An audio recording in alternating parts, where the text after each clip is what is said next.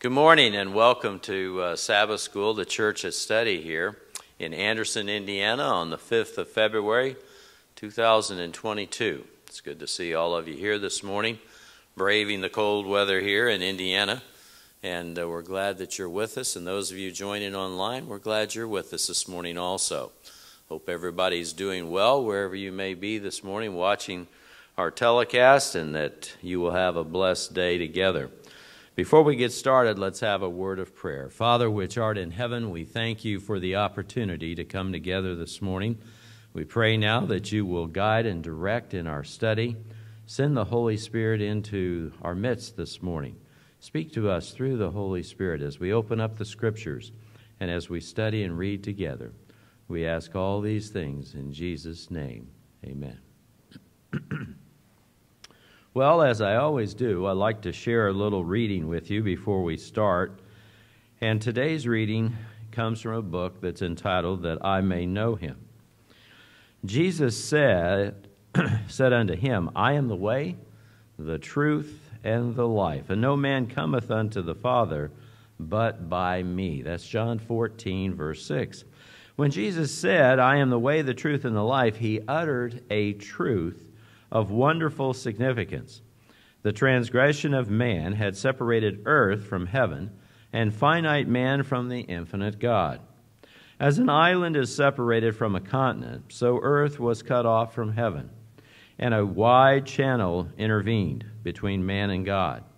Jesus bridged this gulf and made a way for man to come to God. He who has no spiritual light sees no way has no hope, and men have originated theories of their own regarding the way of life. But the only name given among men whereby they can be saved is Jesus. Across the gulf that sin has made come his words I am the way, the truth, and the life.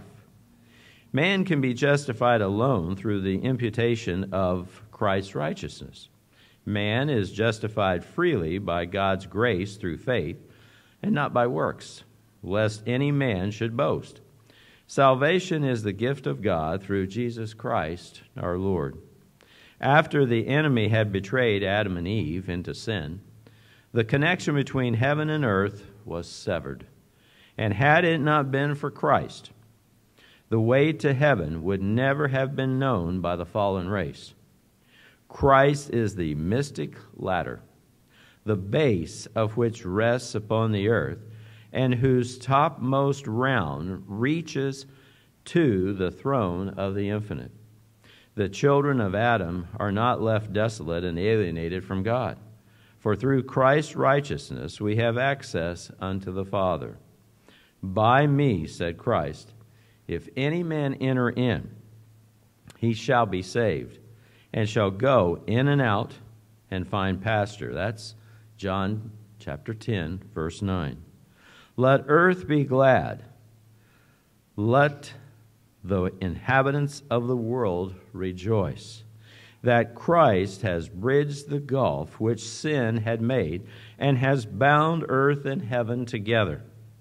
A highway has been cast up for the ransomed of the Lord the weary and heavy laden may come unto him and find rest to their souls.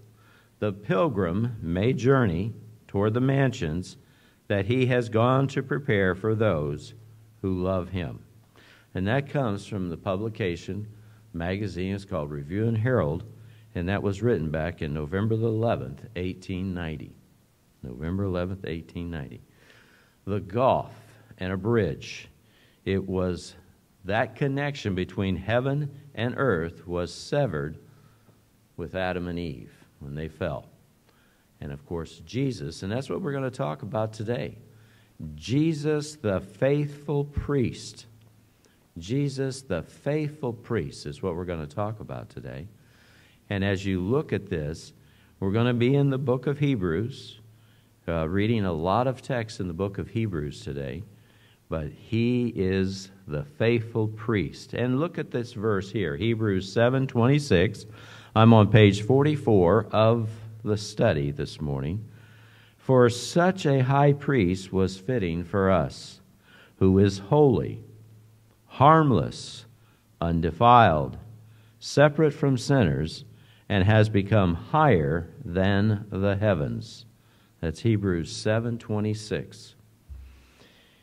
When you look at that first paragraph, if you will, follow along, it says the gulf that existed between God and us was caused by sin.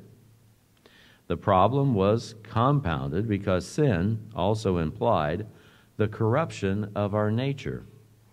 God is holy, and sin cannot exist in his presence. So our own corrupted nature separated us from God, just as two magnets in the wrong orientation repel each other. In addition, our corrupted nature made it impossible for human beings to obey God's law. Sin also involves misunderstanding. Human beings lose, or should say in past tense, human beings lost sight of the love and mercy of God and came to see him as wrathful and demanding. So it tells us this week we're in Hebrews chapter 5, 6, and 7, and this will provide a careful analysis of Jesus' priesthood for us. There are so many things in this lesson this week, and we have a certain way of, of studying and reading, but I wanted to go and follow up right off the bat with that text. And to do that, turn to page 49, and then we'll come back uh, to Sunday's lesson. But I wanted to make sure that this topic on Thursday's lesson, page 49, was covered. And you can turn back to where I just read from on page 44, and that is Hebrews 7:26, what it says.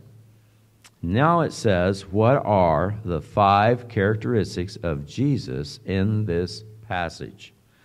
So let's look at that and follow along, if you will, there on page 49. It says, Jesus was what? First off, Jesus is what? He's holy. That means that he was without fault in relationship to God. He was without fault in relationship to God. Now, there are some texts to back that up, and let's take a look at those texts this morning. And um, those of you that do not want to be called upon at this time, just kind of shake your head at me so that I'll know who not to uh, call upon as we read from the Bible this morning. Okay? Everybody looks good. Okay. Hebrews 2:18. Juan, if you'll start off with that. Lawrence, Hebrews 4:15, please. And uh, Kevin, Hebrews 5, 7, and 8. Hebrews 2:18 For in that for in that he himself has suffered being tempted, he's able to aid those who are tempted. So, what is it talking about there? It's talking about temptation, isn't it? And what is involved with temptation. And what happens if a person is tempted and falls. Now remember, the next one, Hebrews 4 15, please. For we have not a high priest which cannot be touched with the filling of our infirmities, but was in all points tempted like as we are, yet without sin. He was tempted in all points like we are, but yet was without sin. You know, we're, we're talking about holy here, is what we're talking about. Kevin, the next uh, one, please. Hebrews 5, 7, and 8. In the days of the flesh, Jesus offered up prayers and supplication with loud cries and tears to him who was able to save him from death, and he was heard because of his reverence. Although he was a son, he learned obedience through what he suffered. He learned obedience by the things which he suffered. Learned obedience by the things which he suffered. What do you think that means? Learned obedience by the things which he suffered.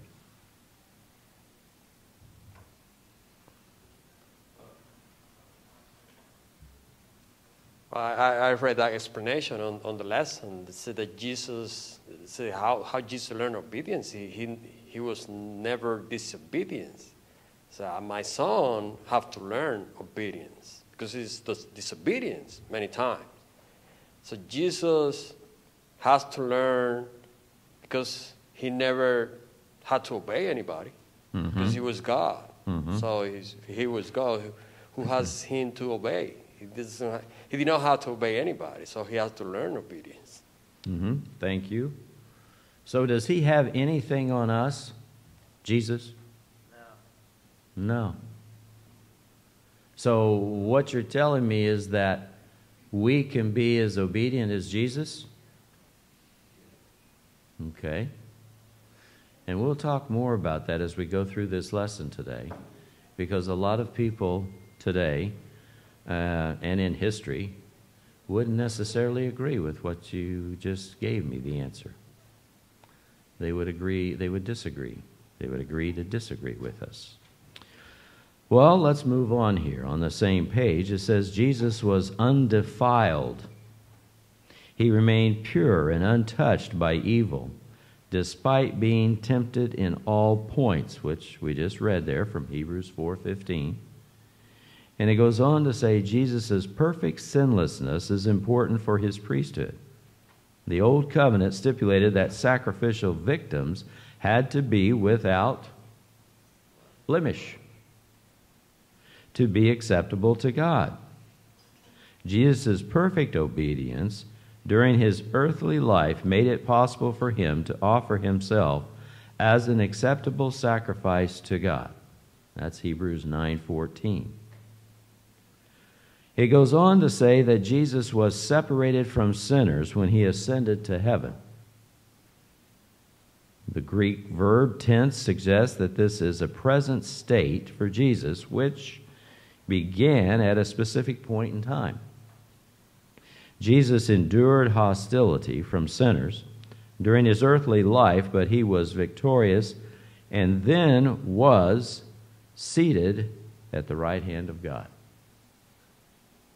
he also is separate from sinners, is that he was perfectly sinless. Perfectly sinless. When you think about that this morning, it says at the bottom of that page, on page 49, it says that he was a human being. He never sinned. And the question is there, how do we wrap our minds around this amazing thought? Think about just how holy he must be.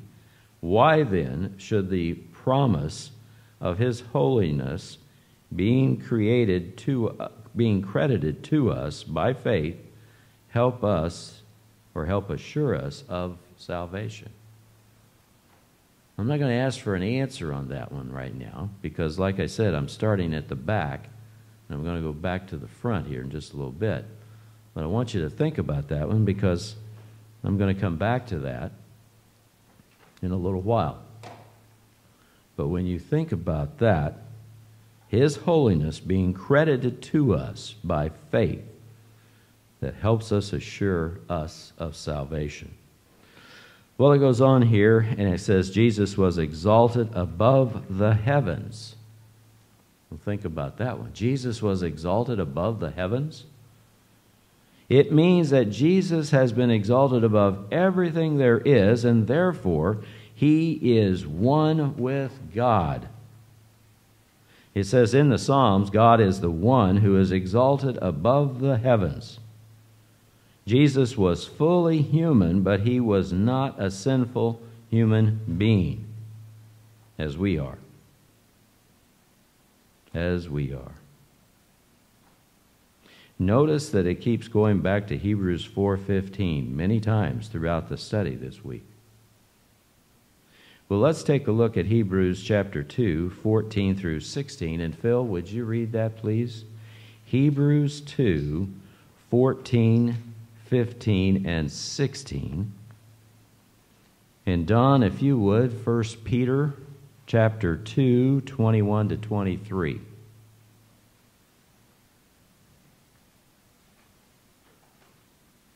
Hebrews 2, 14, 15, and 16. Hebrews 2, starting at 14. Since God's children here on earth have bodies of flesh and blood, the Lord Jesus came and took on the same, so that by his death he could break the hold of him who has power of death over us, that is, the devil. By doing this, he freed us from a lifelong slavery to sin and from our fear of death. Clearly, he does not need to help save sinless angels, but the descendants of Abraham. Notice what he just read there at the end, that last sentence. He does not need, talking about Jesus, he does not need to save sinless angels. However, he is come to say descendants of Abraham.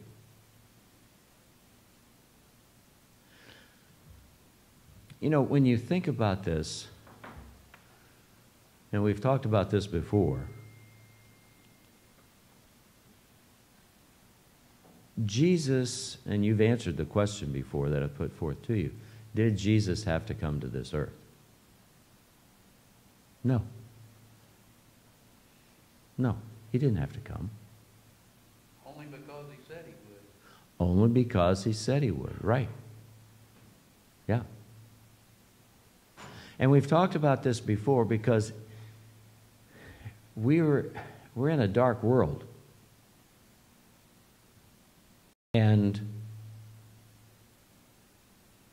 there would have been no hope for any of us in this room this morning or anyone viewing us through the internet today. There have been no hope. None. The antediluvians, some of them lived, you know, hundreds of years. People today, you know, 70, 80, that would have been the end, brothers and sisters. That would have been the end. Because there would have been no hope. There would have been nothing there for any kind of a, a future. Wouldn't it happen? Kevin? Although I, I, I, agree with the concept that he didn't have to, but I think when we say that, we, we are a little short sighted on God's love. Mm-hmm. Um, is there anything that you would not do for your children? You know, I saw earlier this week, and it was an old news clip, I think, but um, these little kids were out on a pond and they fell in. This lady didn't really even know them. She ran out there, fell in herself, but was able to save them. You know, everybody was all safe and happy. They asked her, Why did you do this? And she said, Well, I love them.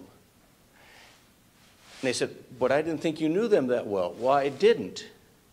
And I think that, that sometimes we, we short sight what love is. We have no concept what God's love is. I think to some extent, and, and we won't understand it throughout eternity, even studying God. But to some extent, I think that we short sight God when we say He didn't have to. I think He did. I think that His love is so vast and so strong that He was compelled to save us. And I know that it, it's things we don't really understand, but I think it's, it's worth thinking about. How mm-hmm. deep is God's love? Mm-hmm. That's a very good point. Very good. How deep is God's love? compared to how deep our love is. Big difference between the two. Big difference. How deep is God's love compared to how deep our love is?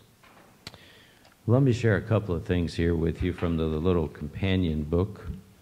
And those of you that have the little companion book, I'm on page 45. And it says, Jesus has given to childhood and youth a perfect example. Study the pattern, Christ Jesus, and copy it if you would be like him, pure, holy, sinless, and undefiled. Study the childhood of Christ. He was the Son of God, yet the Bible record tells us he returned from Jerusalem and was subject unto his parents. Obedience is an element of true greatness. No one can be truly good and great who has not learned to obey with a clarity. And that word, I looked it up today, that means enthusiasm, excited to, to do it. Can you imagine that? Excited to obey. Because if we're obeying, we're bringing um, and showing, in this sense, the way this is written, for Jesus, is what we're doing. Notice it goes on. Remember, your characters are not finished. You are building up day by day a character. Weave all the kindness, obedience, thoughtfulness, painstaking, and love into it you can. Make it after the divine model educate yourselves that you may possess the ornament of a meek and quiet spirit, which is in the sight of God of great price. You can make the world better by living in it if you only do the very best that you can. Only do the very best that you can. And that's from a book called Our High Calling. Let men worship and serve the Lord God and Him only. Anything that is made the subject of undue thought and admiration, absorbing the mind, is a God. Notice that's in a small g, chosen before the Lord. Anything. Doesn't say one or two things, it says anything. Man is forbidden to give to any other object the first place in his affections or his service. Whatever we cherish that tends to lessen our love for God or to interfere with the service due Him, of that do we make a God. Do we make a God? Don, if you would, go ahead and read, please, what I ask you to read for me. That's 1 Peter chapter 2, 21 to 23. For to this you were called, because Christ also suffered for us leaving us an example that you should follow his steps, who committed no sin, nor was deceit found in his mouth. Committed no sin, and no deceit was found in his mouth. Thank you. You know, when you think about this, he is our example. We're talking about obedience here in this and following him. And notice that because he is the holy, innocent, unstained, separated from sinners. He is our Savior, and we too can reflect His character.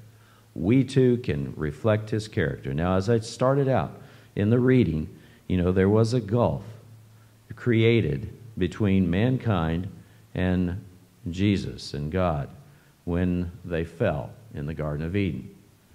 And that gulf had to be, it was repaired and of course, that was through Jesus. So let's go back here to page 45. A priest on behalf of human beings. And let's take a look, if you will. Turn to Hebrews chapter 5. And we have some verses there in Hebrews chapter 5. And my brother from Austria, if you would, please turn to chapter 5. If you would read verses 1 and 2 for me, please. And then Jennifer, if you would, 3, 4, and 5. Mike, if you would, uh, Michael here, my brother, read 6, 7, and 8. And then Juan, if you would finish up 9 and 10, please. Go ahead, brother. 5, verse 1 and 2. For every high priest selected from among men is appointed to officiate on their behalf in matters relating to God, that is, to offer gifts and sacrifices for sins. He can deal gently with people who are ignorant and easily deceived, since he himself is subject to witness. Hmm. Did you catch that in verse 2? I mean, these are, these are all great verses, but in verse 2, he can have passion on those who are ignorant and going astray, since he himself is also subject to weakness. So we're talking about uh, a high priest here. Go ahead, please, Jennifer. 3, 4, and 5. Yes. Because of this, he is obligated to offer sacrifice for his own sins, just as he does for those of the people. And no one takes this honor for himself, but only when called by God, just as Aaron was. So when Christ did not exalt himself to be made a high priest, but was appointed by him, but was appointed by who said to him, You are my son, today I have begotten you. You are my son, today I have begotten you. Okay? Michael, 7 and 8. 6, In- 7, and 8. 6, 7, and 8. Right. As he says also in another place, you are the priest forever after the order of, Melchizedek. thank you. In the days of his flesh, Jesus offered up prayers and supplications with, a, with loud cries and tears to him who was able to save him from death, and he was heard because of his reverence. Although he was a son, he learned obedience through what he suffered. Although he was a son, he learned obedience by the things which he suffered. Juan, finish up, please. 9 and 10. And having been perfected, he became the author of eternal salvation to all who obey him, called by God as high priest according to the order of Melchizedek. Called by God. When you think of this in relationship to a priest on behalf of human beings, there's a couple of things. This priest, this high priest, the position, how did it come about? By, well, let's go back a little bit further than that. By God's choice. By God's choice. By God's choice. Appointed, called. And of course, the first high priest was Aaron. Because they were called by, or he was called by God. He was appointed by God. Now, we would have the sacrificial system, which most of you are aware of, for a period of many, many years. And remember, I told you that sacrifice that they would bring would be without blemish. That means it had to be, it was perfect. You couldn't take your sacrifice, if it's a lamb, let's say, there were other things that you could use, but let's say a lamb. You couldn't take that lamb that was had a broken leg and take it down there and say, well, that's you know that's kind of the bottom of my uh, livestock holdings that I have. It's got a broken leg. What good is it going to do? So I'm going to take it down there and offer it up because the the real nice ones, you know, I'm going to be able to get more money for. No, that isn't the way it was set up. And notice another word in here was obedience that we've seen come out this morning in our study. So if you brought that leg or that broken leg lamb down there, are they going to accept that, you know, as, as the priest there and, and offer it up? No, because the obedient part is you do what you're asked to do. You bring that sacrifice without blemish. And that's what they would do for a period of hundreds of years. And then, of course, the ultimate sacrifice was paid by Jesus Christ. Now, how did Jesus Christ become the high priest? Did he earn that position by coming and living a perfect life, as we've been reading this morning, that he had no sin? How did Jesus Christ become the high priest?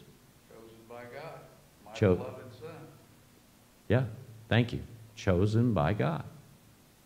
My beloved Son, as we just read. Chosen by God. It was not a situation where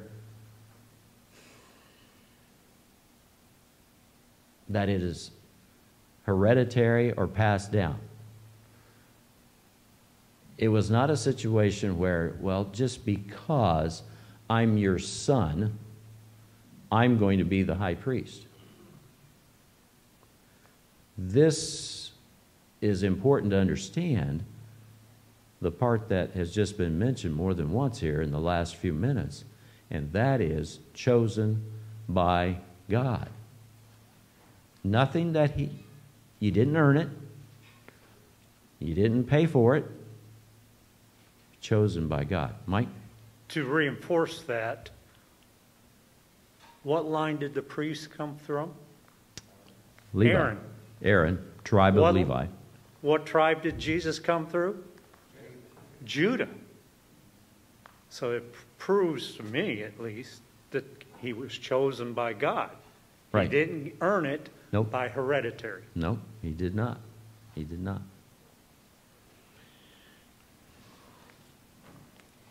You know, when you go ahead, Phil. Jesse, I think one of the things that we're alluding to, but we're kind of going around is, is, is Aaron was the first high priest, and he was tribe of Levi. What do we assume? We assume that the high priest came from the tribe of Levi. That was, that was the assumption, and I, I think that we're talking about that, but I think we need to recognize that when we think of high priests, we automatically think of the tribe of Levi. That was where the high priest came. Mhm. And if Samuel was high priest, and who, who came in after Samuel? Wasn't it his sons? No? Who came in after Samuel? I'm, I'm, I'm at a loss. But what I'm saying is, is usually it, it was passed down through the family. And it Mhm. was through the, the family, the tribe of Levi. Mhm. And that's what we assume. But what we're recognizing here is, is, is that the true high priest is chosen by God. By God. Right. Right. It was nothing. You know, it even got to the point, folks, in relationship to the high priest here before Jesus came, that it was an office that, that people were killing for, that people were paying off other people to obtain. Um, it became very corrupt, a very corrupt situation. Not in line with what we are talking about right now, the way that it was established. The, and when you look at this, a priest on behalf of human beings and the sacrifice that Jesus made, when you think about that, and that kind of love, which we've already talked about, that love that Jesus has compared to the kind of love that, that we have today, you know, how can it even be compared? I mean, we can't understand it, as Kevin mentioned earlier in his comments. Well, let's look at this 1 Peter 2 9. 1 Peter 2 9. And Lawrence, would you read 1 Peter 2 9 for us? It says that we are a royal priesthood. What does Jesus' life tell you? That your relationship with uh, other human beings should be because we are in this sacred role. Go ahead, please. But ye are a chosen generation, a royal priesthood, and holy nation, a peculiar people, that ye show forth the praises of him who hath called you out of darkness into his marvelous light. Think about those words, and I hope you have that in front of you. That's uh, 1 Peter 2 9. Think about those words that are in that text. Let me find that here, and let's really think about that this morning. 1 Peter 2 9. Lawrence just read it for us. And ask yourself, as I put some questions forth, do you think about yourself when you wake up in the morning that you are a chosen generation, a royal priesthood, members of a holy nation, his own special people, that you can proclaim the praises of him who called you and me and others out of darkness into his marvelous light? A royal priesthood. We are special. And I think another word that he mentioned in his reading there a peculiar people. You can use the word peculiar, you can say special. I guess a lot of people like to hear the word special as opposed to peculiar. But, you know, same thing here as far as special, peculiar. You're a special people. Martha? So I've been stuck on Elijah and Elisha for the last month or so. Uh huh. And so this morning I was reading in Prophets and Kings about Naaman. And so you're talking about God's people and how we're called and set apart. And so it's talking about how the little girl that lived in Naaman's home had been taken from Israel. Right. And so it says, A slave far from home, the little maid was nevertheless one of God's witnesses unconsciously fulfilling the purpose for which God had chosen Israel as his people. As she ministered in that heathen home, her sympathies were aroused on behalf of her master. And remembering the wonderful miracles healing wrought through Elisha, she said to her mistress, and we know that she goes on to encourage her, um, to encourage him to go to him. It says, The conduct of the captive maid, the way that she bore herself in that heathen home, is a strong witness to the power of early home training. So it still goes back to how we're called and how she, even though she wasn't a priest, she wasn't in, you know, probably from the tribe of Levi or who, who knows, right? But she still unconsciously fulfilled that purpose. And it started in the home. So the parents are the ones training children to be these priests in this world. Thank you. Yes, that's a very good uh, comparison there in the relationship to uh, as she pointed out, the little girl. Whenever I see that, I think of the Bible story books and how that little girl is portrayed, you know, in the books, and uh, you know that they portray her, you know, eight, nine, ten years old, something like that. And you think about the witness that that she had in uh, to uh, to the people that she was working for. Um, you know, uh, many times in our lives, we are in situations that we may not think that we have a real uh, impact on anybody else. But as we've studied many times throughout our study here in this class, we are uh, impactful on every, everybody that we come in contact with. We have an impact upon them. We might think that we don't, but we do. It's either going to be a positive or it's going to be a negative, and but in this case here with this little girl, by obeying and, and following, you know, learning, her parents had taught her, she was able to be a witness. Lawrence? The last part of that verse is there's a reason why we're peculiar. Sometimes we wear that peculiarity as a badge of courage. I go to church on a different day. I hmm. eat this way. I don't do this. I don't that doesn't mean anything if we're not using it for the right reason. And that's the, to me, that's the end of the verse. It's, it's to glorify God. If I'm not doing that, then why be peculiar? Right, yeah. Why not be part of the mainstream and just go on in life? Yeah. Yes, brother, go ahead. You know, the word uh, peculiar actually is a word that has to do with uh, a possession, a saved possession. It's not uh, not uh, emphasizing the the uh, any anything intrinsic in the person or in the one that is called peculiar, but rather it is that which has been saved in the in the original. And mm-hmm. so that I think that puts a little different slant on, on us. In other words, when we look at, at our position with God, it's because we're saved.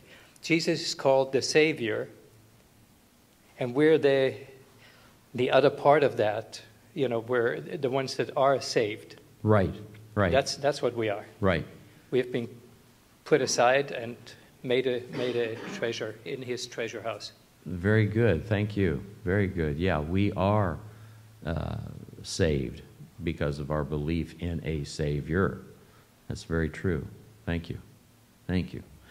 All right. let's take a look here on page 46. According to the order of Melchizedek. Melchizedek. Now, let's talk a little bit about Melchizedek. Before we do that, let's take a look at some verses here. Genesis 14, 18, 18 through 20. And let's see, Kevin, would you read that for us? And then, Phil, would you do Hebrews 7, 1, 2, and 3? Hebrews 7, 1, 2, and 3. Kevin, Genesis 14, 18 through 20. And it says, Who was Melchizedek? And how did he prefigure Jesus? And, um, Pastor, we may ask you to get involved in this discussion after we do some reading here. And you can share with us your take on Melchizedek. Okay? So let's go ahead. Kevin, if you will, Genesis 14, 18 through 20.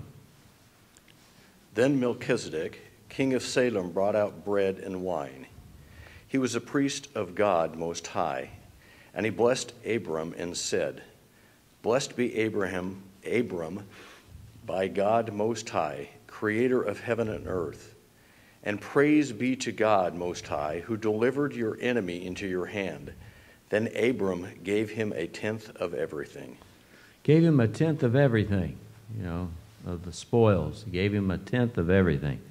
Phil, Hebrews 7 1, 2, and 3, please.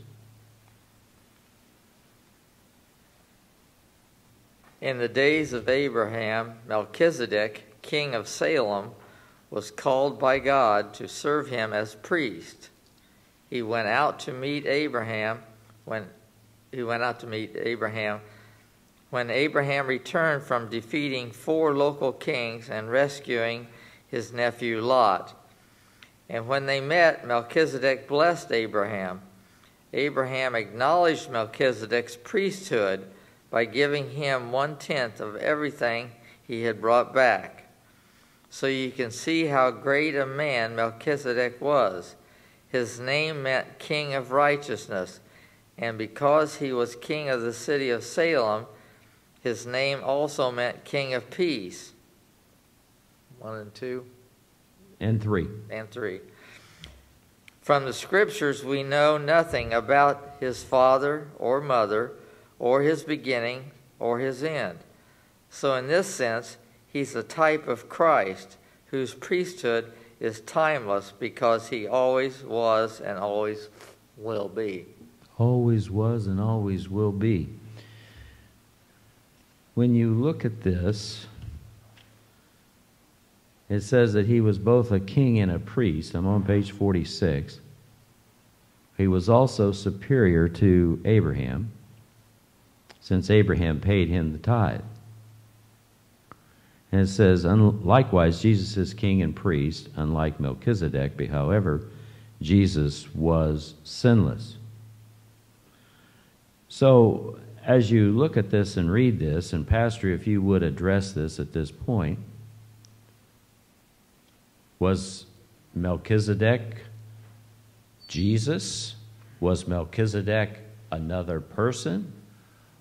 What who was Melchizedek? Says he didn't have a father and a mother. Um, as we just read. Go ahead, please. I've often wondered this. Um, as far as I know, it's just a type. Uh, Melchizedek was just a type. And what Phil was reading actually kind of shows that language. He was reading out of the Clear Word, which is a paraphrase that Jack, Dr. Jack Blanco did of the text. And you can see clearly the way that he interprets that scripture as it being a type of Christ and not actually Christ. So I, I haven't seen anything where it's a theophany, which is a manifestation of Christ in the Old Testament. There are other theophanies. Um, but as far as I understand, Melchizedek wasn't a theophany. He's Paul's just trying, and I believe Paul wrote Hebrews. Paul's just trying to um, bring in the idea that the Aaronic priesthood is not enough. That Jesus comes from a different priesthood, a, a different um, line to show what God is doing through him. Mm-hmm. And so he's making those comparisons and trying to help people understand. Because the whole idea with Hebrews is Paul is saying Jesus is better in every way. So he kind of goes down a list of things that Hebrews believe, the Hebrew Christians believed. And, um, you know, there's a better sacrifice, there's a better priesthood in this sense. And so he's saying what Paul's trying to communicate is that there's a better priesthood than the one that you've known. It's the priesthood of Jesus Christ. Jesus and he's like Christ. Melchizedek. Yeah. He comes from a different place. He's not Yeah. like Aaron. Yeah. He's not the priesthood of Aaron. So I, I think that's the idea that they're trying to get across. Yeah. But don't stone me because I don't know everything. All right, thank you. Thank you.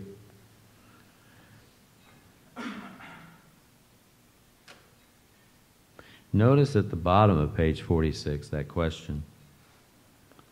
What does the revelation about Melchizedek teach us about how God works among those who have never had human missionaries preach to them?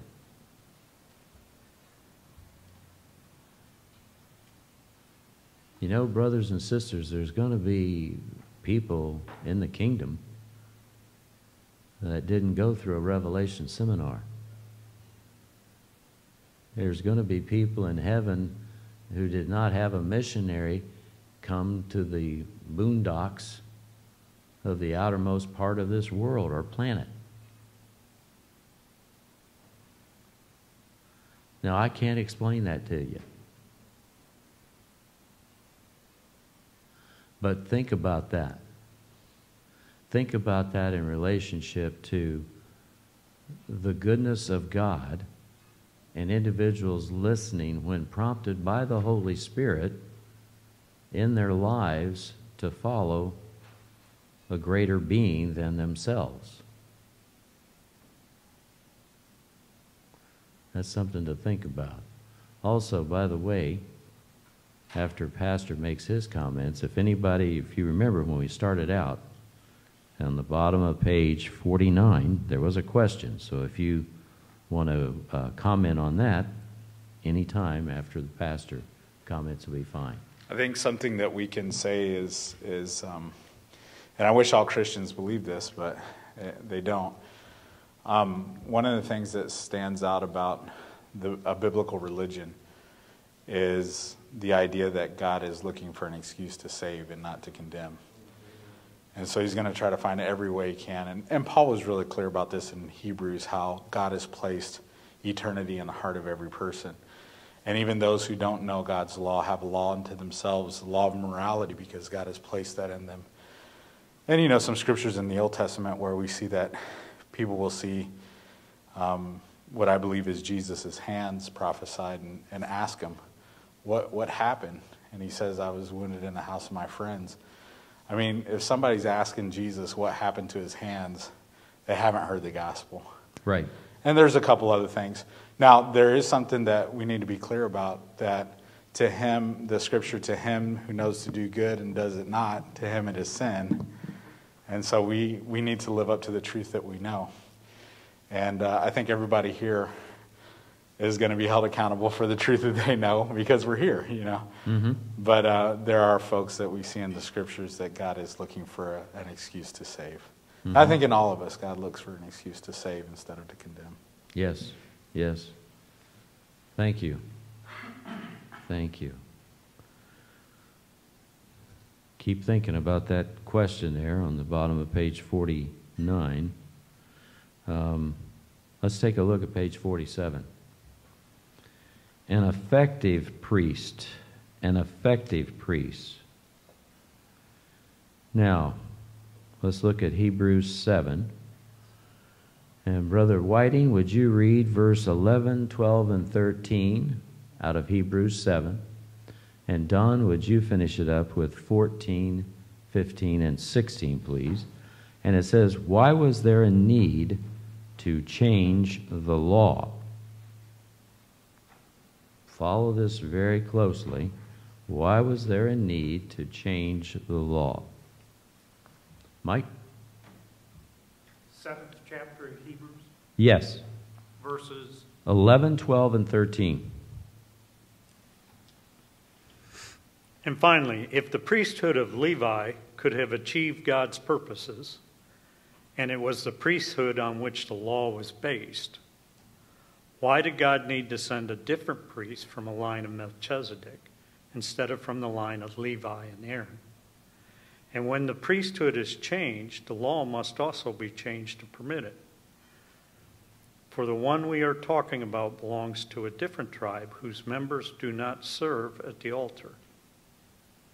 Verse 14 also. No, uh, my, uh, Don will pick it up from there. Thank you. But, but again, that shows that the tribe, Aaron's line, were called to be the priest. Right. and it says that in, in Numbers 3 as well. It's not an assumption. And then, of course, what you just read there, Mike, in uh, verse 13, it says, um, From he of these things are spoken, belongs to another tribe, another tribe from which no man has officiated at the altar. And Mike brought that out earlier. Don, pick it up, please 14, 15, and 16. For it is evident that our Lord arose from Judah, of which tribe Moses spoke nothing concerning priesthood. And it is yet far more evident if, in the likeness of Melchizedek, there arises another priest who has come, not according to the law of a fleshly commandment, but according to the power of an endless life. Boy, think about that last text that he just read there. Who has not come, not according to the law of a fleshly commandment, referring to, you know, the priesthood, where it came from, but according to the power of an endless life. According to the power of an endless life. The gulf was created,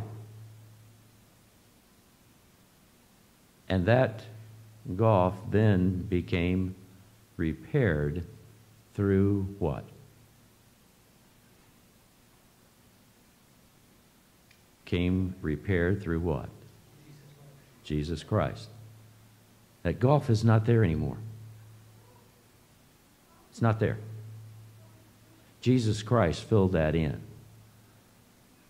He filled that in because everyone in this room and everyone watching today on the internet has an opportunity to have a relationship with Jesus Christ and to repent and confess of our sins, and he then appears as our advocate, like a lawyer.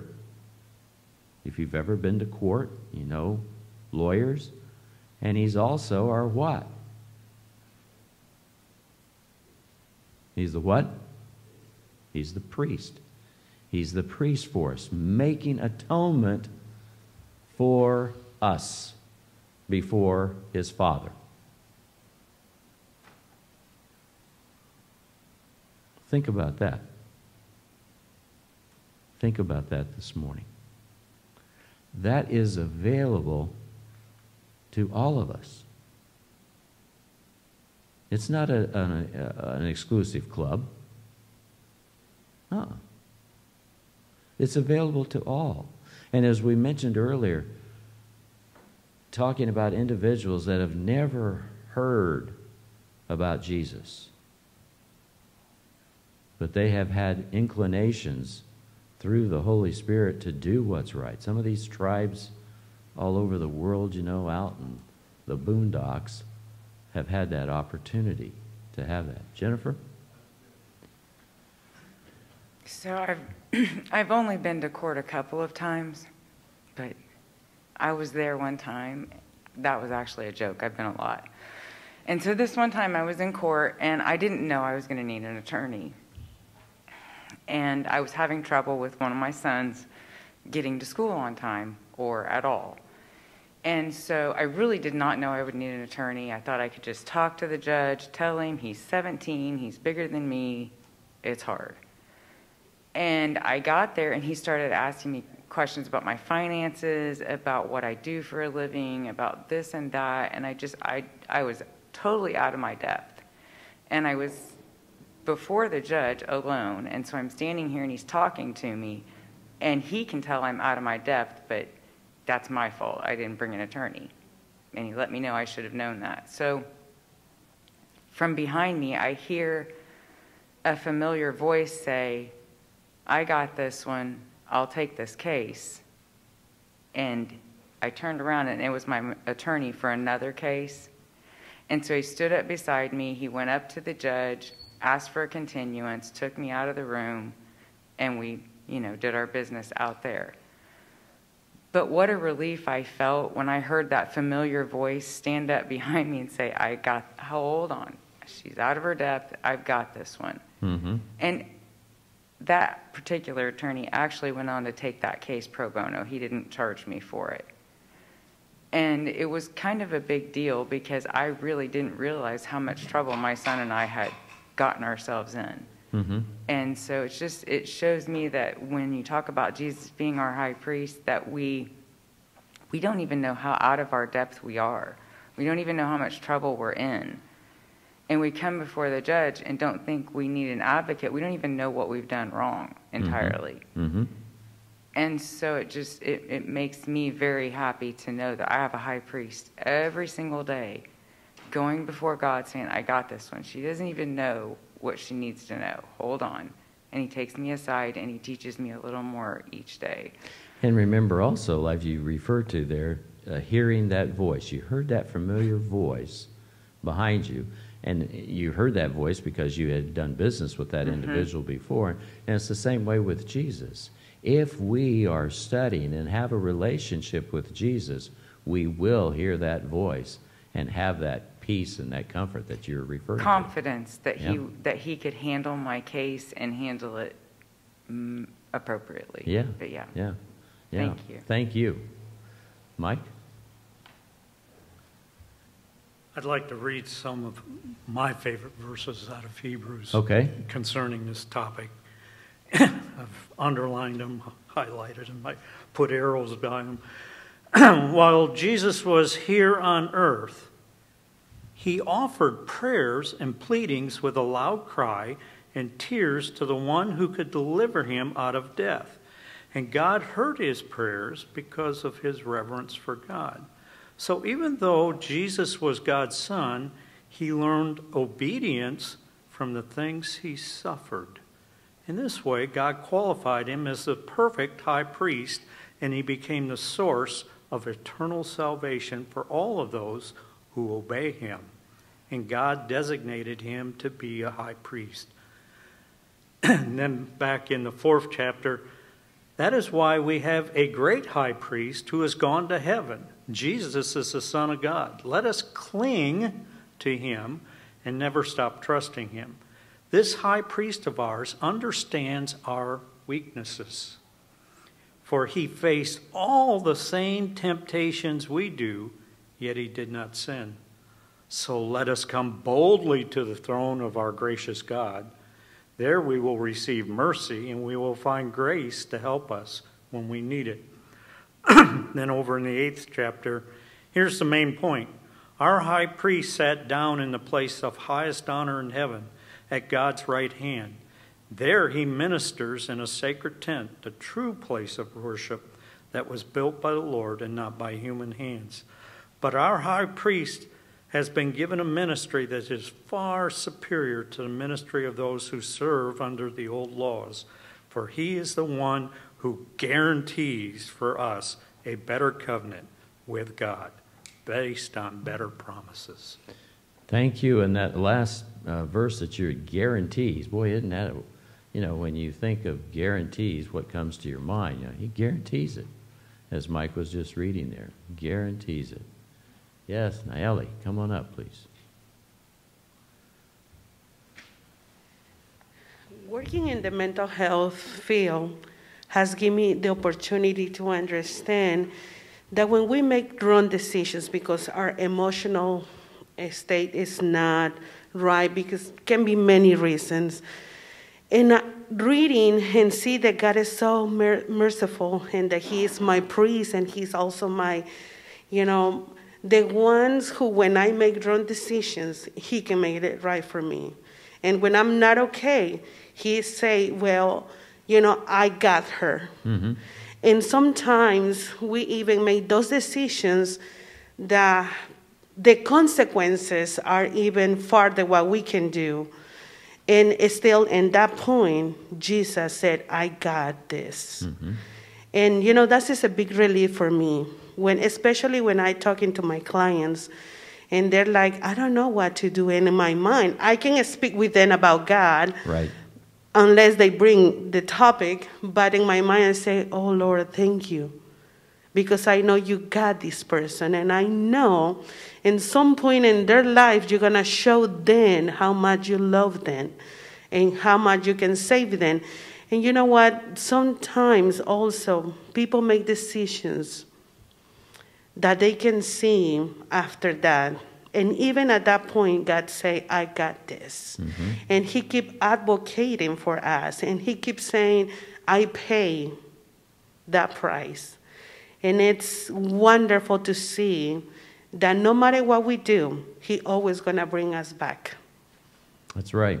Thank you. Thank you. Appreciate that. Very well done. Well, time has come to an end, and uh, want to make sure that uh, you don't forget about studying this question that I put forth to you, and that was on page 49 at the bottom of that page. And I'm going to read it again. Though Jesus was a human being like us, he never sinned. How do we wrap our minds around this amazing thought? Think about just how holy he must be. Why then should the promise of his holiness being credited to us by faith help assure us of salvation? Help assure us of salvation. That is a God that we serve of deep, deep love. Very deep love. And think about that today as you go about this afternoon. Give that some thought. At this time, we have the mission story being brought to us by Juan, and then after that, we'll have our video. Thank you all.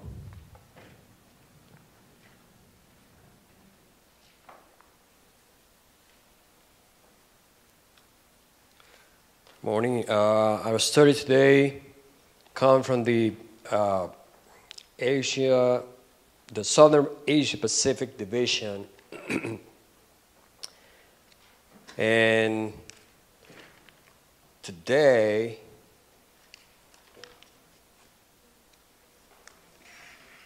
our the title of the story is "Beatings, Strengthen Faith."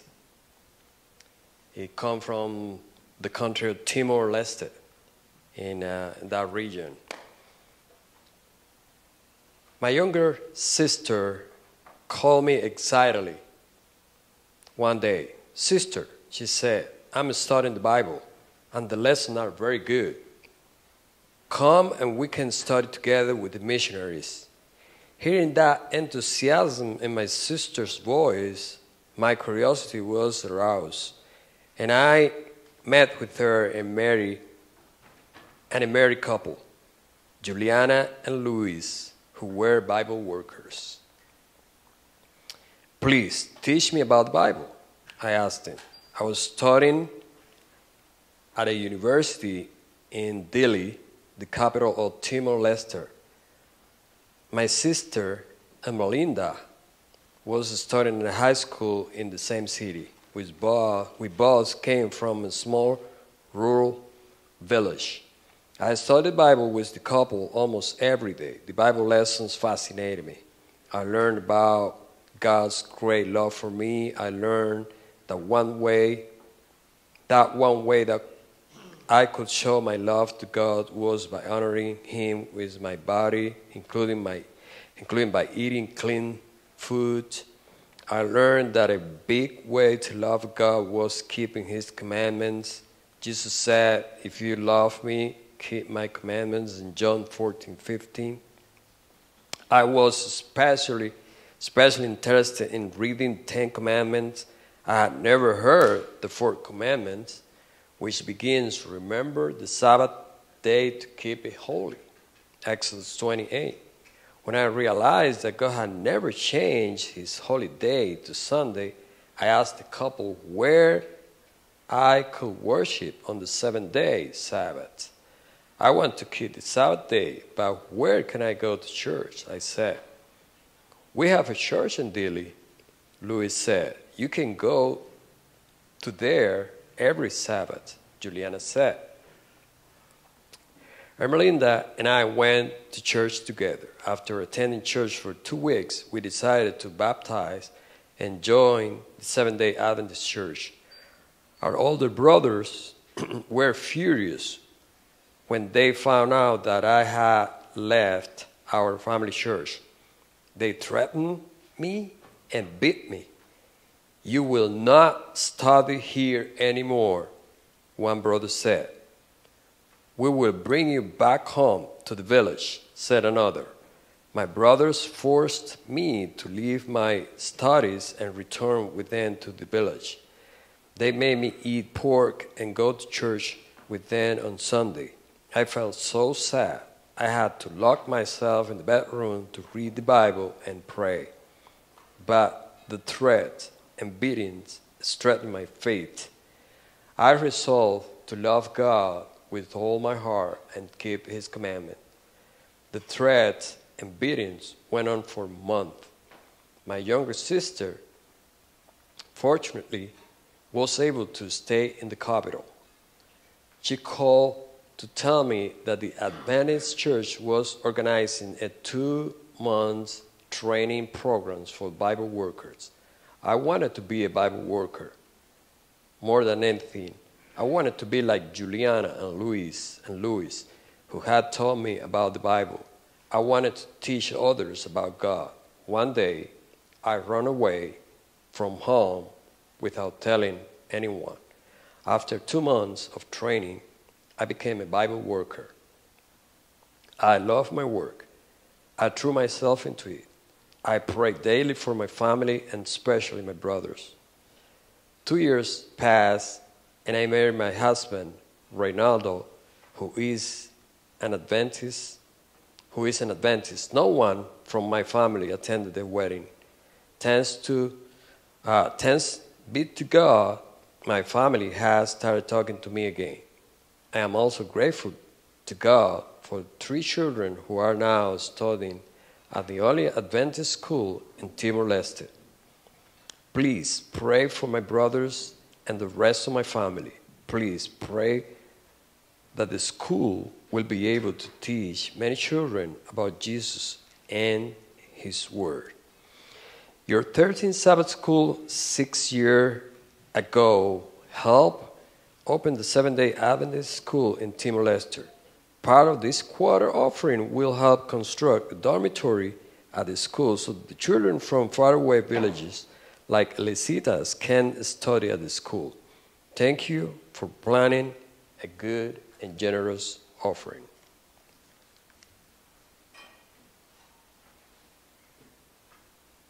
God has given each of us a way to serve and show His love to the world. It can be difficult to find a career that pairs our God given talents and interests with ministry. For students interested in adventure and service, Union College's International Rescue and Relief Program, or IRR, tries to do just that. The program focuses on teaching rescue skills and community development practices around the world. Every student spends their last semester in the field, using their skills in the real world. We're here in Palmer, Alaska, staying at the Adventist Church's campgrounds, um, part of a semester of excursion and adventure in Alaska. IRR gives you a lot of cool skills ranging from anywhere from EMT skills to swiftwater rescue to building uh, sustainable projects in developing countries. One of the skills they are training for in Alaska is avalanche search and rescue. They've gone out to train every day this week and during snow and freezing temperatures. Many of the IRR students see benefits well beyond the physical training. So all those skills are unique and different, but they have one unifying purpose, and that is to relieve the suffering of humanity. I view that as what Jesus did as well, was living his life to better the lives and to save the lives ultimately of the people around him. Um, and IRR enables us to do the same on a lower scale um, and to live out our lives the way that Jesus lived out his. These students had an opportunity to practice this type of service when they were called to respond to a storm that had destroyed communities in the state of Iowa, just days after the disaster. The team of students and staff were ready to go. Our Iowa trip, I was warned on Saturday that this could be a thing, and then Sunday morning we were prepping and packing to leave. And so, with that, I think it's really cool just to live like the disciples. They worked with Jesus and they were always constantly ready to leave. I really aspire to be that type of missionary, that type of uh, Jesus lover that is able just to go on the fly without any warning. Um, and I think the IR program has really equipped me for that to the point where I'm confident wherever I go and whatever I do, I know that I can make an impact. While on earth, Jesus was more than just a teacher, preacher, and healer. He was also a first responder. His ministry was to rescue and relieve the emotional, physical, and spiritual suffering of those around him. Union College's International Rescue and Relief Program has taught these students how to use their passion for adventure to tell others about Jesus. I think IRR is a great way to have what we call a uh, career of adventure and a lifetime of service to where we can serve the people around us and help them have a better life so that they can see that we care about them as Jesus cared about them, and then we can share our message with them, and it means a lot more. There are many ways that God can use us to show His love to the world. The IRR program is just one example. You can visit AdventistMission.org to see how people around the world are combining their talents with ministry. How will you use your unique gifts and talents to show God's love?